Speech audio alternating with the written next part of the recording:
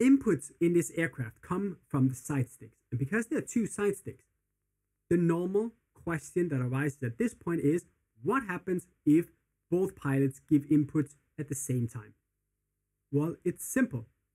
Inputs from side sticks are algebraically added together. It means they're either added or they're subtracted from each other. The sum of the output is depending on what is deflecting on each one. Either pilot can make an input at any given time. However, only one person should operate at any given time.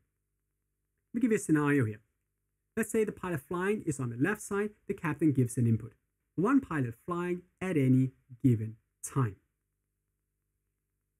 If this pilot wish to take priority, that means ensuring that pilots' inputs from the other side stick are not added into the flight control computers, then he or she will do what we call a priority takeover.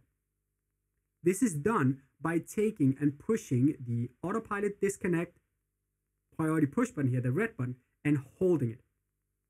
As long as the pilot on this side here is holding it, there will be an aural warning, caution, priority left over the loudspeaker. No visual warning.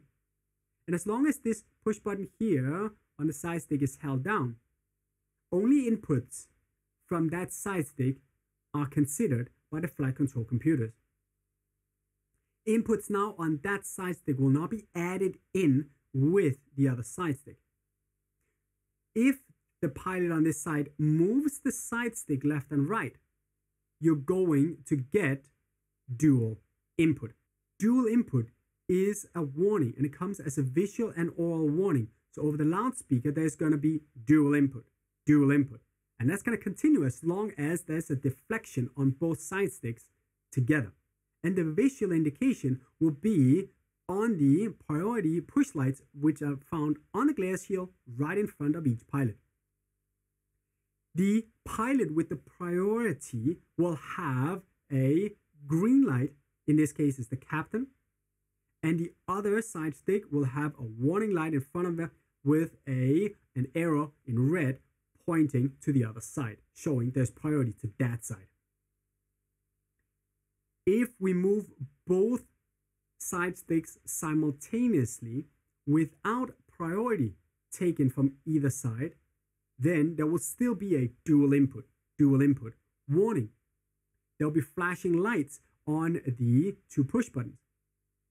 But the two inputs will then be algebraically added together, meaning if I have half deflection on the left side and then the first officer on the other side puts half deflection, together it will give an input to the flight control computer as if one of us had full deflection.